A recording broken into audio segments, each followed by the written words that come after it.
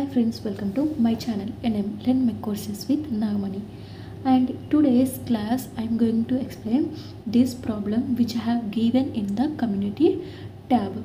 So if anyone uh, wants to solve this problem without seeing this video and solve and give your option in the community tab okay and if you want to see the solution for this matrix see here here they are given a be real matrix of 2 by 2 order and with the determinant is 2 and trace a equal to 4 then what is the value of trace a square? So they gave a be a real matrix of 2 by 2 matrix okay? And they give determinant of a which is equal to 2 and trace a equal to 4 okay? And they are asking to find what is the trace of sorry trace of a square which is equal to how much? Okay and uh, just we will uh, take let e lambda 1 comma lambda 2 are the eigenvalues of this 2 by 2 matrix. Okay we know that determinant of a means product of the eigenvalues which is equal to determinant of the that matrix now.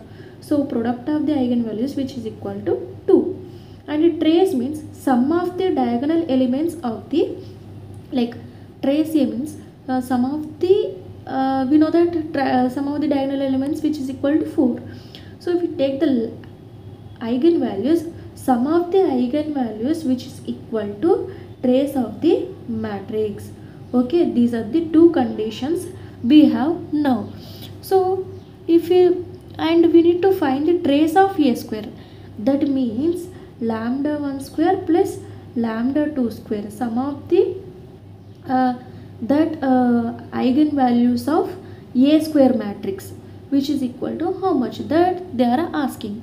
So if you know that if you see here lambda 1 plus lambda 2 uh, like we want this one uh, lambda 1 square plus lambda square 2 square which is equal to we can write this one as lambda 1 plus lambda 2 whole square minus 2 into lambda 1 into lambda 2 okay? And here we know that lambda 1 plus lambda 2 is nothing but 4 which is 4 square minus 2 into lambda 1 into lambda 2 which is nothing but 2 which is equal to 4 4 are 16 minus 2 2 are 4 which is equal to 12 so 12 is the answer for the given matrix. Okay in this way you need to find the solution. If you want to see just one see here they gave real matrix of 2 by 2 matrix. So we took the lambda 1 and lambda 2 are the eigenvalues for the this matrix. And det of a equal to 2 they gave. So determinant of a which is nothing but product of the eigenvalues. So product of the eigenvalues which is equal to 2 we took. And here trace of a equal to 4 they give so sum of the uh, eigenvalues which is equal to 4 so for this you have to know the eigenvalues and eigenvectors properties. Then only you can easily find the relation between the uh, these in this way. You can find the relation uh, in eigenvalues and eigenvectors.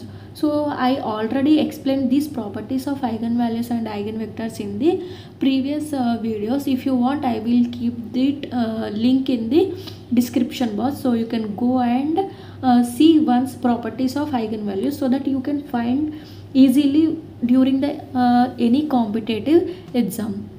And if you like the video please like share and subscribe to my channel. Thank you for watching